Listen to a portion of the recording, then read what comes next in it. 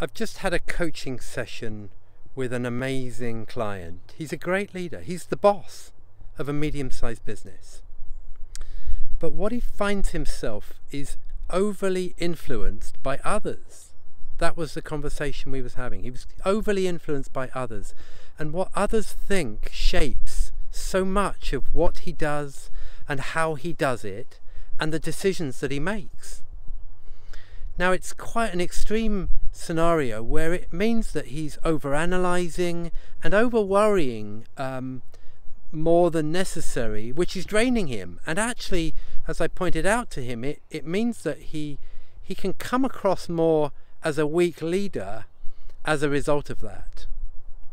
I'm suggesting to you that there's only one true way to lead, yes, take on board the views of other. Yes, take on board data from wherever you can get it. But the key thing with leadership is to listen to the wisdom inside you.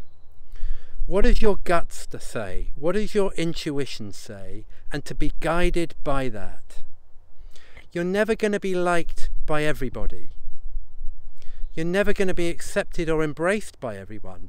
But the key is to be true to yourself to listen to your wisdom, to search for the wisdom inside you on any decision, regardless how complex, and let that be your guide. And what you'll find is that you'll end up being a way more authentic and powerful leader that will serve not only you, but everyone around you.